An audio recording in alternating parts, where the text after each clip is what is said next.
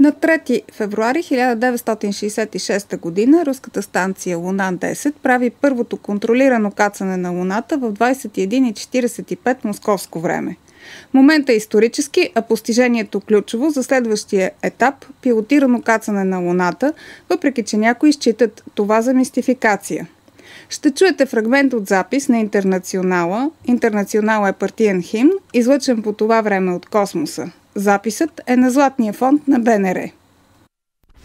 Слушайте переданную с борта искусственного спутника Луны мелодию партийного гимна «Интернационал»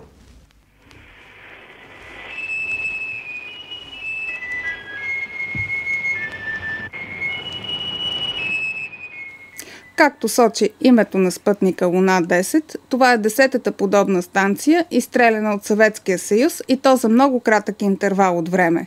Първата станция Луна-1 е изстреляна на 2 януари 59-та.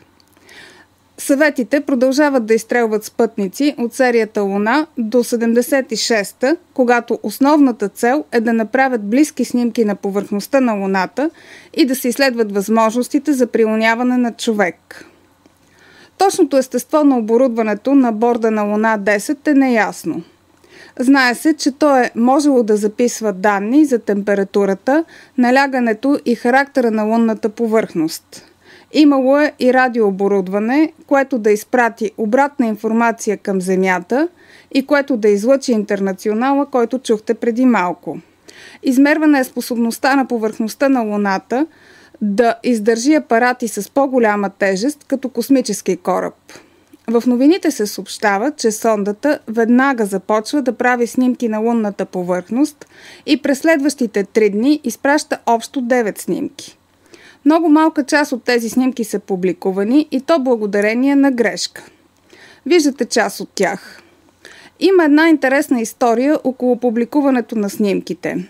Английският а, радиотелескоп Джордел Банк прихваща сигнали от Луна 10, които използват международната система, възприята от медиите за обмен на снимки. С помощта на вестника Daily Express, който включва приемащата си машина към телескопа, снимките са прихванати и публикувани в световните медии. Смята се, че руските учени не случайно са използвали стандартно телевизионно оборудване – Хипотезите са две. Според едната, те са искали да се възползват от по-висококачествените образи, които се получават от Джордел Банк, без да търсят официално сътрудничество с противниковия лагер. А според другата хипотеза са искали да попречат на съветските власти да извлекат политически ползи от постижението.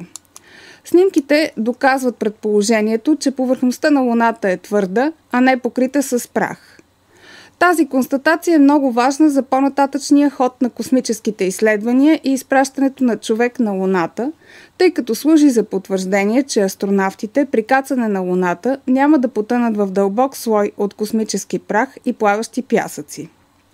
В телевизионна пресконференция руски учен, участник в космическата програма, заявява, че повърхността на Луната е изградена от вулканична скала или лава с черен или шоколадов цвят и че там, където се приземява Луна 10, пейзажът е каменист.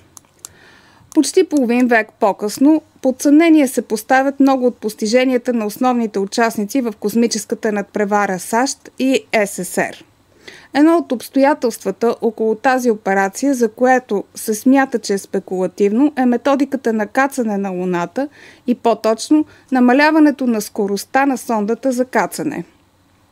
Кацането на Луната от страна на руската Луна 10 обаче е факт, който никой не успорва.